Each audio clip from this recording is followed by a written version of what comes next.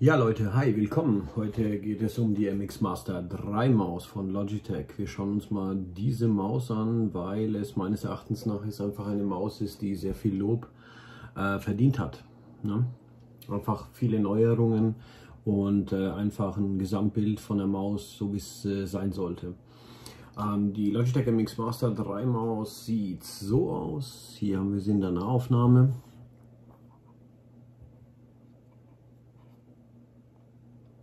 Es ist eine Maus, die nur für Rechtshänder konzipiert ist, wie ihr seht. Ähm, es ist äh, eine Maus, die prinzipiell für Grafiker, Leute, die Ton bearbeiten, Video-Rendering, solche Sachen machen, Grafiker ähm, und äh, natürlich auch für Leute, die sehr viel in Excel arbeiten äh, und so weiter konzipiert. Es ist einfach eine Maus, wo halt ähm, sehr viel Wert drauf gelegt worden ist, dass das Scrollrad bzw. die Scrollräder, wir kommen hier auch nochmal zu dem seitlichen Scrollrad zu sprechen, ähm, sehr hochwertig verarbeitet sind. Die sind komplett aus Aluminium, fühlen sich sehr hochwertig an. Ähm, Logitech vermarktet das Ganze unter dem äh, New Max Scroll Wheel. Ähm, Im Prinzip hat es eine Rasterung, eine ganz leichte, ähm, hat aber auch die Fähigkeit eben komplett durchzuscrollen und komplett durchzulaufen bis die wieder von selber einrastet, die Maus. Zack, genau. Ähm, das seitliche Scrollrad bietet halt sehr viele Vorteile für Grafiker und ähm, Leute, die öfters mal von links nach rechts irgendwie scrollen müssen und nicht nur von oben nach unten. Äh, natürlich ähm, bietet es einen sehr, sehr, sehr hohen Komfort, damit man eben nicht mit dem Mauszeiger komplett runterfahren muss, ähm, und ihr kennt es ja mit der Bar hin und her wischen muss, sondern hier kann ich direkt, ohne die Maus großartig rumzubewegen, links, rechts, einfach mal schnell schauen, okay, was habe ich im nächsten Frame, was habe ich in den nächsten paar Sekunden von der Tonaufnahme oder eben was habe ich in der Excel-Tabelle weiter rechts stehen. Ähm, die Maus ist äh, vollgespickt mit ähm, unterschiedlichen Tasten.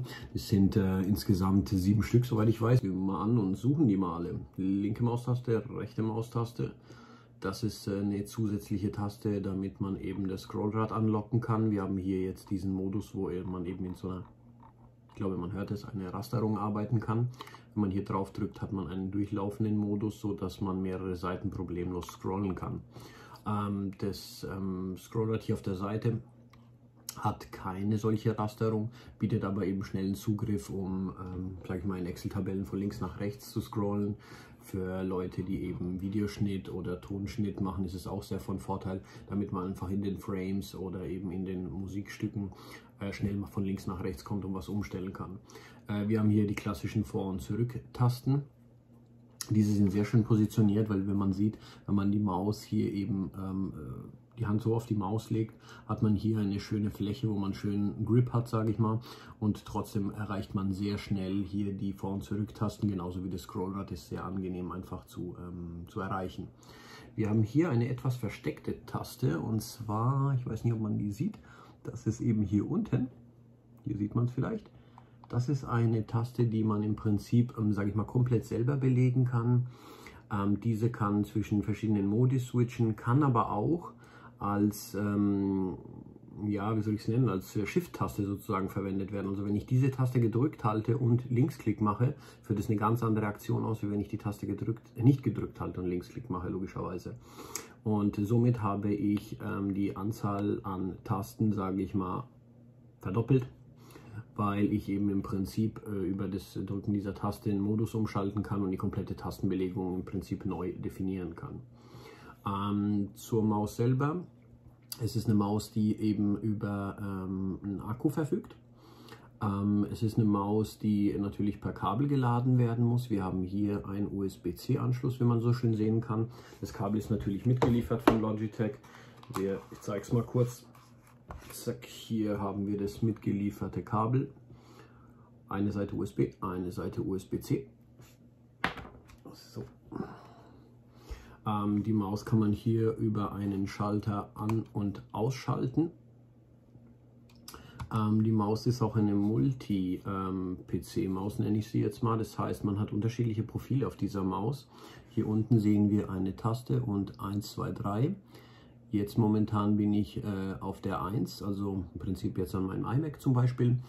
äh, mit dem USB-Empfänger, weil die Maus ist Bluetooth und Wireless zugleich verbunden. Ich kann aber natürlich auch ähm, auf die 2 wechseln. Hier geht es in den Kopplungsmodus, man sieht es. Ich habe jetzt kein Gerät damit verbunden äh, und könnten somit ein zweites Gerät anschließen oder eben ein drittes.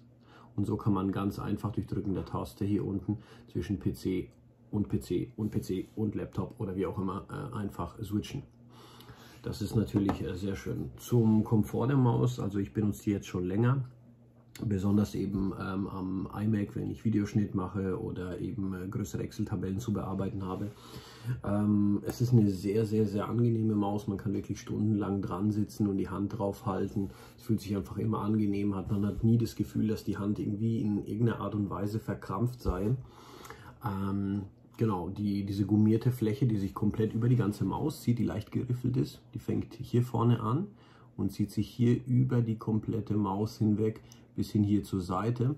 Das heißt, selbst der kleine Finger oder der Ringfinger hier auf der Seite äh, ermöglichen es, dass die Maus einen wirklich schön angenehmen Grip hat. Ja. Zum Sensor, hier kommt ähm, ja, der neueste Sensor von Logitech, also Non-Gaming-Sensor äh, zum, ähm, zum Arbeiten. Das ist äh, dieser Darkfield-Sensor, das heißt, das ist ein Sensor, der dafür ausgelegt ist, auf jegliche Oberfläche zu funktionieren, also im Prinzip auch auf Glas und solchen Sachen.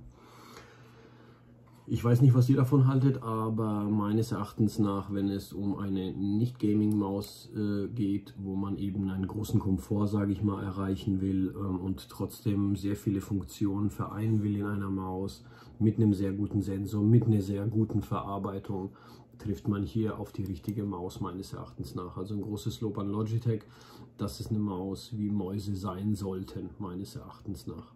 Ne? Diese befindet sich auch mittlerweile in der dritten Generation. Ähm, ich hatte auch schon vor die MX Master 2S hieß die und die MX Master 2. Ähm, ich denke, dass Logitech ähm, ordentlich äh, gearbeitet hat und im Prinzip sehr viele Sachen ausgemerzt hat, wo bei der MX Master 2 jetzt nicht so schön waren oder vom Komfort her. Ähm, ja, Lob an Logitech, sehr schöne Maus. Wir haben hier jetzt die Anthrazit. Version von der Maus, die gibt es auch nochmal in einer silbernen Variante, damit sie zu den Macs besser passt oder zu den iMacs oder zu den Apple Produkten.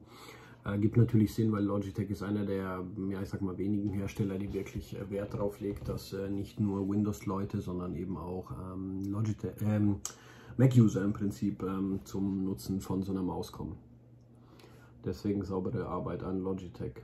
Ähm, in puncto Multi-PC, Multi-Laptop, wie auch immer, ähm, hat Logitech sogar noch eins draufgelegt. Ich kann nicht nur zwischen den einzelnen Geräten durchschalten, sondern ich habe ähm, im Prinzip ähm, habe ich noch von Logitech eine Software, ähm, die ich auch natürlich auf, nehmen wir mal, ich habe drei PCs, auf allen drei PCs installieren müsste. Und dann habe ich ähm, im Prinzip über die Logitech Software ein äh, Drag and Drop zwischen den PCs.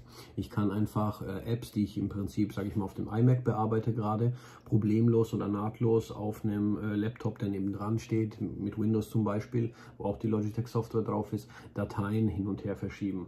Das ist natürlich auch ein sehr hoher Komfort für Leute, die im Prinzip entweder Homeoffice machen oder eben äh, einfach mit mehreren Geräten arbeiten müssen. Ja, alles klar. Dann danke ich euch. Es war schön mit euch. Die MX Master 3. Hier nochmal die Schachtel in der Nahaufnahme. Für euch. Wenn euch das Video gefallen hat, lasst ein Abo da, das wäre natürlich sehr nett und ein Like dafür. Vielen Dank. Ciao.